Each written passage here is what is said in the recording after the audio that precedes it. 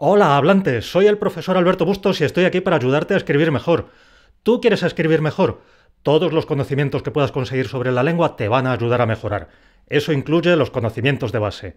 Los seres humanos hemos ido buscando a lo largo de la historia diferentes modelos para tratar de explicarnos una realidad tan abstracta y tan compleja como es la lengua. En este vídeo te presento dos que han tenido un especial impacto y siguen teniéndolo. La lengua es una realidad compleja y escurridiza. No podemos acercarnos a ella de la misma manera que lo hacemos con una roca, una manzana o un rinoceronte. El cerebro humano maneja con facilidad las realidades concretas. Estamos hechos así. En cambio, todo lo abstracto nos resulta difícil. Por eso, para entenderlo, siempre buscamos semejanzas con objetos concretos. Eso nos ayuda a entender mejor qué son esas abstracciones y cómo son, Dentro de este afán general de entender lo abstracto a través de lo concreto, se sitúa un empeño que cuenta ya con miles de años de historia. Los seres humanos estamos construyendo constantemente modelos para explicarnos una cuestión fundamental. ¿Qué es la lengua? En el fondo, intentamos acercarnos a la lengua como si fuera otra cosa. Hay un modelo que resulta venerable porque cuenta con una larga tradición se sitúa en el origen mismo de la reflexión lingüística occidental. Me refiero al modelo que concibe la lengua como una herramienta. Lo encontrarás ya en uno de los diálogos de Platón. En el Crátilo, Sócrates habla de la lengua como si fuera una herramienta. Ese instrumento sirve para que una persona les comunique algo a otras personas acerca de las cosas. Esta idea tiene múltiples implicaciones. Voy a ir desgranándolas. En primer lugar, cuando comparamos la lengua con un instrumento, nos la estamos representando como si fuera una cosa, es decir, una realidad independiente del ser humano y externa a él. Existe un término técnico para esto, reificación. Reificación. A nuestro cerebro le resulta más fácil entender algo que está ahí, algo que tenemos ante los ojos. En cambio, le cuesta más trabajo manejar lo que está dentro de nosotros o simplemente lo que no está en ninguna parte.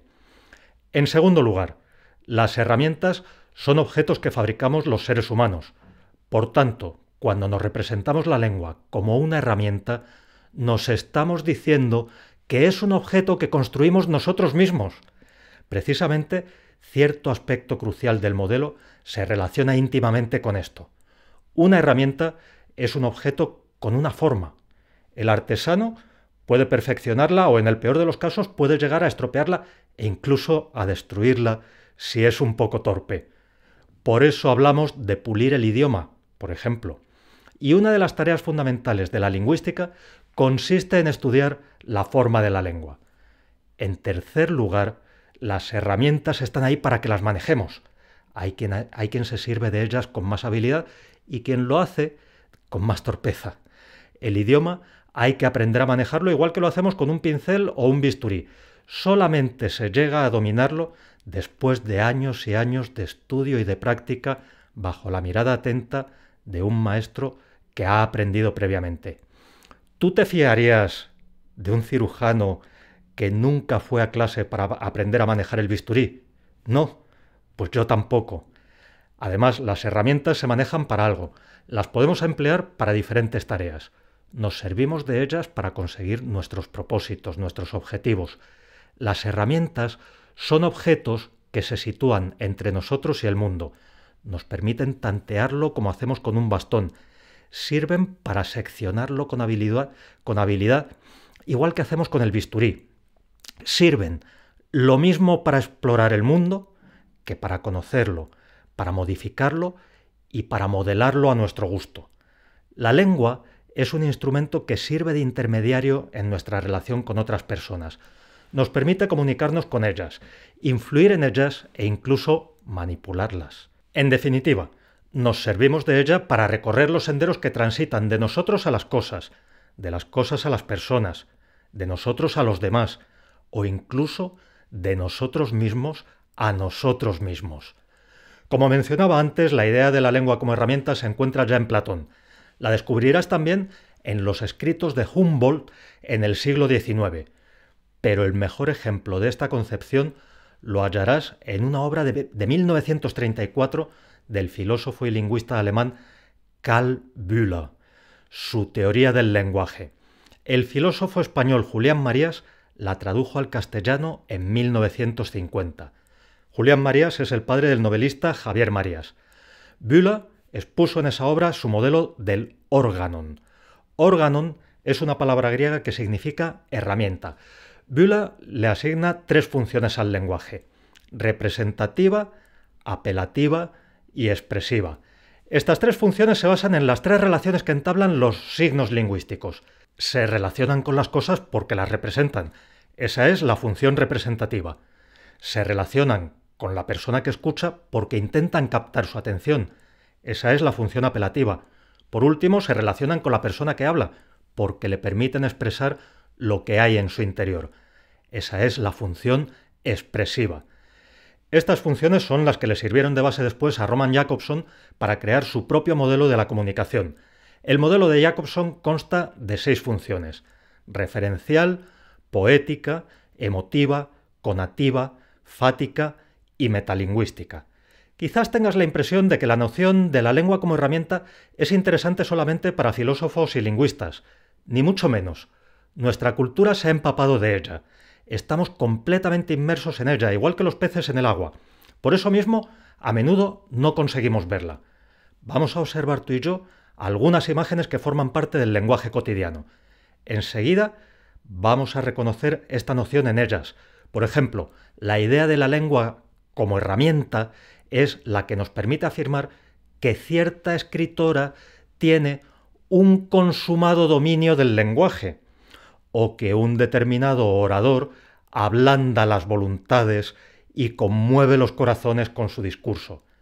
Seguro que has oído alguna vez decir que una lengua ha alcanzado una gran perfección, igual que podríamos decirlo de un bisturí, o que resulta tosca y grosera, como podríamos decir que es un cuchillo, pero cuidado, un cuchillo de pedernal, de los que hacían nuestros antepasados cuando vivían todavía en las cavernas. Este modelo presenta fortalezas y debilidades.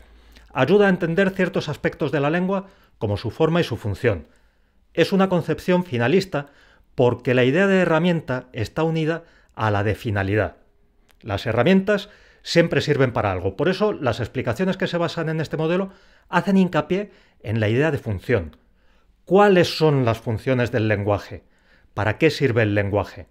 Sin embargo, cojea cuando intentamos, por ejemplo, entender el cambio lingüístico, cómo se van modificando los idiomas a lo largo de siglos y milenios.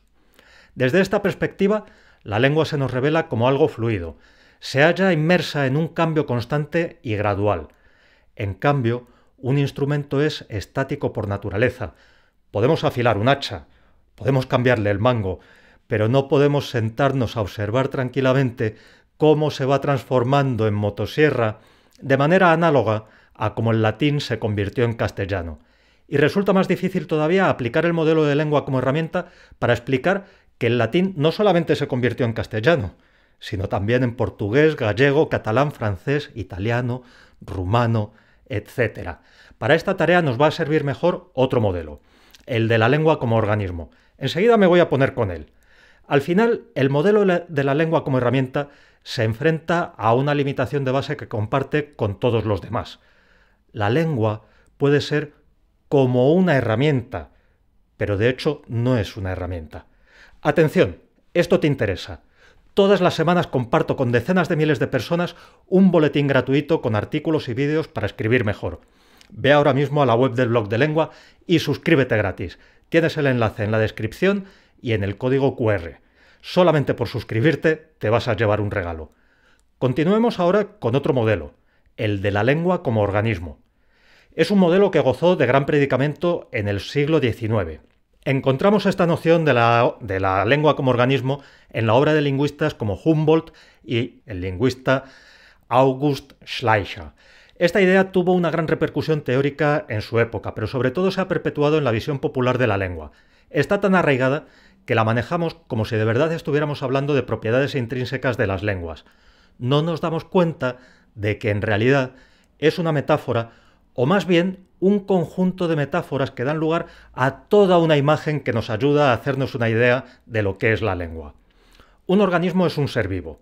Los seres vivos nacemos, crecemos, algunos hasta se reproducen y al final todos morimos. Eso sí es seguro. Estas características de los seres vivos están detrás de preguntas que a menudo nos planteamos a, propósito del idioma. Por ejemplo, ¿cuándo nació el castellano? Esas características de los seres vivos también están detrás de afirmaciones como estas. Las lenguas románicas descienden del latín.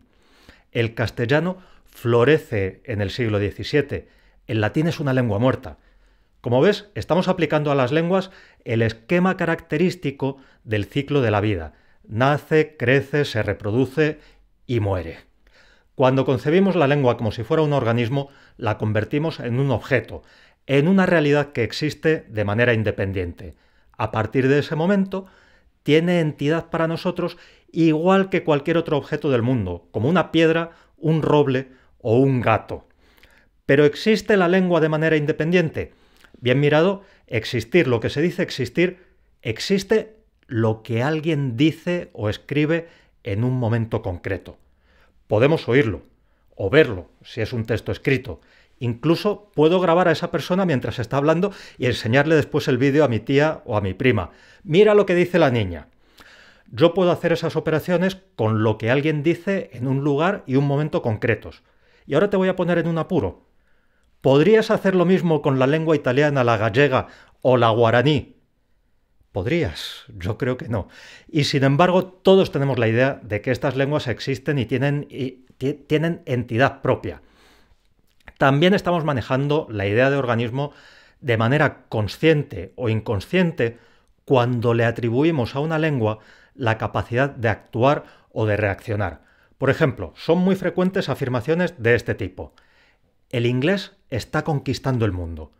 El francés está cada vez más debilitado. A veces incluso nos representamos las diferentes lenguas como una comunidad de seres vivos que conviven y se relacionan unos con otros. Esta idea es la que está detrás de afirmaciones como estas. El inglés se está comiendo a las lenguas pequeñas. El bretón ha conseguido sobrevivir a la presión del francés. Un organismo está formado por partes diferentes. Estas partes forman un todo orgánico en el que se puede reconocer una estructura y una jerarquía. Cada una de esas partes desempeña su propia función. Por ejemplo, en un árbol podemos reconocer a primera vista hojas, ramas, tronco y raíces. En un animal apreciamos inmediatamente la cabeza, el tronco y las extremidades. De la misma manera, las lenguas se han estudiado siempre diferenciando partes que forman un todo, orgánico, jerárquico y estructurado. Quien se matricula en un curso de lingüística va a estudiar como mínimo estos componentes de la lengua. El léxico o vocabulario, la sintaxis, la morfología, la semántica.